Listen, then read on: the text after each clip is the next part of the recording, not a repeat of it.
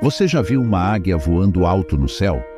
Ela é uma criatura majestosa, símbolo de força, coragem e poder. Mas o que faz uma águia tão especial? É sua mentalidade. As águias têm uma mentalidade capaz de superar desafios e alcançar grandes alturas. Neste vídeo, vou compartilhar com você sete lições sobre a mentalidade de águia que você pode aplicar em sua vida. Eu acredito que todos nós podemos aprender com a águia. Você já ouviu a frase, seja uma águia, não um papagaio? O papagaio fala muito, mas não pode voar alto. A águia fala pouco, mas voa muito alto. Então quero te fazer uma pergunta. Você quer voar alto na vida ou apenas ficar no chão falando? Se você quer voar alto, então vamos lá. Imagine uma águia que está sendo perseguida por um predador. A águia está cansada e com medo, mas ela não desiste. Ela continua voando alto e rápido até que o predador desista. O que isso nos ensina? Não devemos desistir de nossos objetivos, mesmo quando as coisas ficam difíceis. Devemos perseverar e nunca desistir. Se você cansar, simplesmente pare um pouco e descanse. Se não está conseguindo sozinho, peça ajuda mas nunca desista de seus sonhos. E como você pode desenvolver uma mentalidade de vencedor? Você precisa acreditar em si mesmo. Procure dentro de si. Será que tenho a impressão que não mereço as coisas boas? Quando estou chegando perto de algo, me sinto incapaz? Será que é alguma crença de não merecimento ou rejeição que em algum momento da vida colocaram em mim? Às vezes, alguma palavra ou situação que você já passou o faz se sentir assim. Pare e pense nisso e diga a você mesmo em voz alta: Eu mereço tudo de bom e sou um vencedor. E sou grato por tudo que tenho. Cultive esses sentimentos poderosos para começar a ter uma mentalidade de vencedor.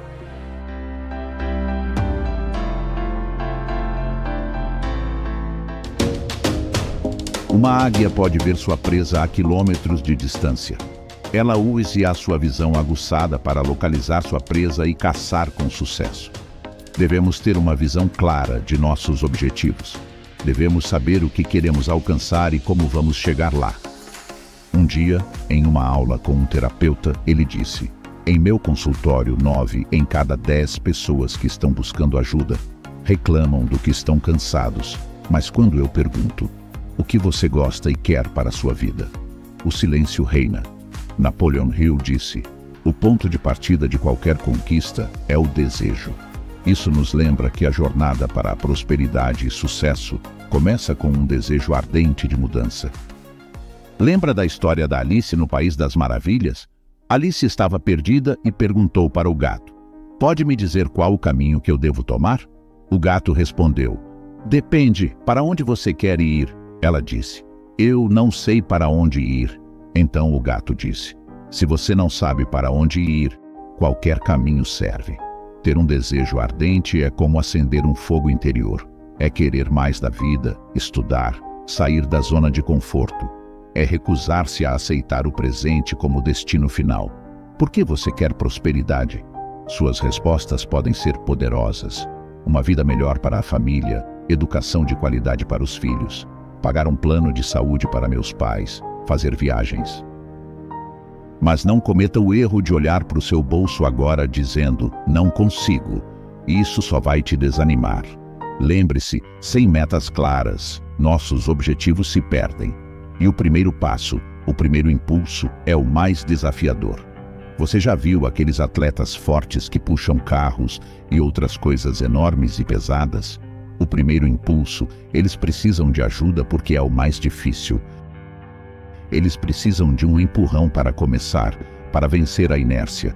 Mas depois que eles começam a se mover, eles continuam sozinhos. Na vida, mudança de hábitos e início de busca por um objetivo também são assim. O primeiro passo sempre será o mais difícil, mas depois é só continuar. As águias nunca comem animais mortos. Elas preferem caçar animais vivos, que representam desafios e oportunidades. Na vida, precisamos deixar o passado para trás e nos concentrar no presente. Isso nos permitirá aproveitar as oportunidades que estão à nossa frente. Por que você acha que em um carro o para-brisa é grande e os espelhos e retrovisores são pequenos? Porque a visão mais importante é para frente. Ele permite que o motorista tenha uma visão ampla da estrada à sua frente. Isso é essencial. Os espelhos e retrovisores são menores que o para-brisa. Eles fornecem uma visão lateral e traseira para manter a segurança. Isso nos ensina a não perder energia com o passado que não pode ser mudado. Devemos nos concentrar no presente e no futuro, deixando as memórias ruins irem embora, permitindo que nosso passado tenha seu lugar próprio. As águias ensinam seus filhos pelo exemplo, aplicam disciplina adequada e nunca abandonam, assustam ou castigam seus filhotes. As águias mães sabem que seus filhotes precisam aprender a voar para sobreviver. É por cuidado que a águia faz o seu ninho no mais alto pico da montanha para que nenhum predador chegue até lá. Elas também sabem que eles podem ficar confortáveis demais no ninho e não querer sair ou se sentir assustado com a altura. Então, para forçar os filhotes a sair do ninho, elas removem a grama macia, tornando-o menos confortável. Os filhotes, então, são forçados a sair do ninho e aprender a voar. Os pais também podem ajudar seus filhos a sair da zona de conforto, incentivando-os a tentar coisas novas e desafiando-os a crescer. Porém, sempre se mantendo próximo para ajudá-los.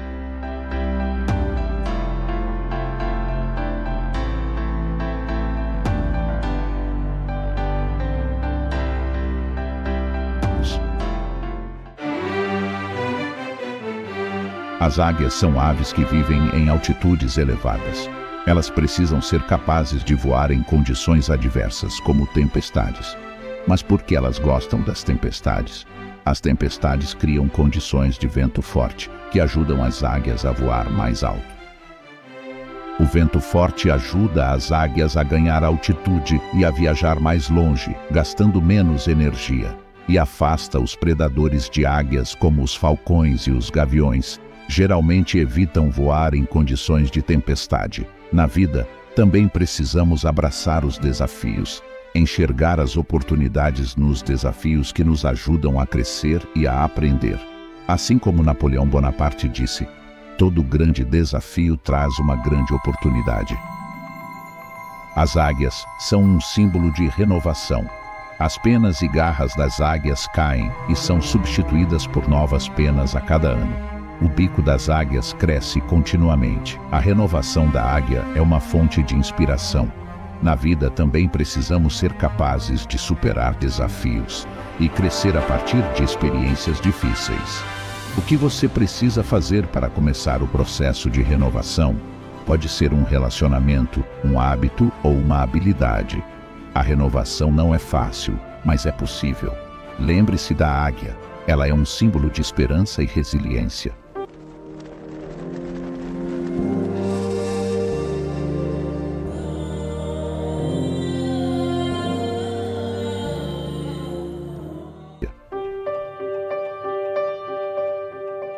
Por fim, mas não menos importante, as águias são conhecidas por voarem sozinhas e em altitudes incomparáveis em relação a outros pássaros.